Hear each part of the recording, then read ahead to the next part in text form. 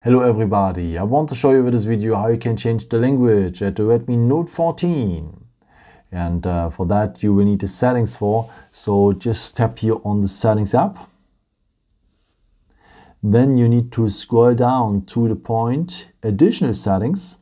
From below it's the first point. So it has a gray icon with a white dot in it usually huh? And you will need now the second point, languages and input. So you will need now the first point. So now you can choose from many languages, uh, yeah. But let's continue us here with English and uh, then sometimes you can choose also a dialect here. Let's take maybe the dialect here from India and then tap here on OK, so at the blue button. And now the language of that phone is English with the dialect of India. Yeah, I hope I could help you with this video and answer your question. And as you can see, it takes a few seconds and after he's ready and you have your language. Huh?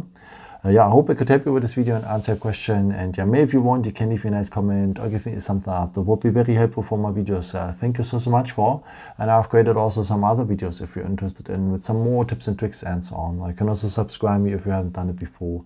Thank you so, so much for all your support and yeah, maybe until next time. Ciao.